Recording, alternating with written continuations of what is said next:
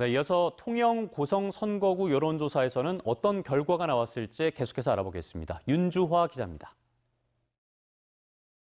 더불어민주당 양문석, 자유한국당 정점식, 대한애국당 박청정 후보 가운데 누굴 지지하는지 물었습니다. 정점식 51%로 가장 높았고 양문석 36.6, 박청정 3.3%였습니다. 지지하는 후보와는 별개로 당선 가능성이 높은 후보로는 정점식 56.1, 양문석 30.4, 박청정 3.2%로 나타났습니다.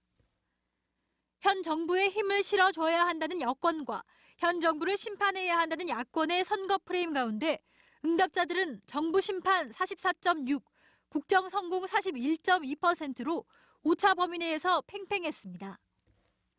정당 지지도는 한국당 50, 민주당 29.3, 바른미래당 5.2% 등의 순이었습니다. 통영 고성 유권자의 95% 이상이 이번 선거에서 투표를 하겠다고 답했습니다.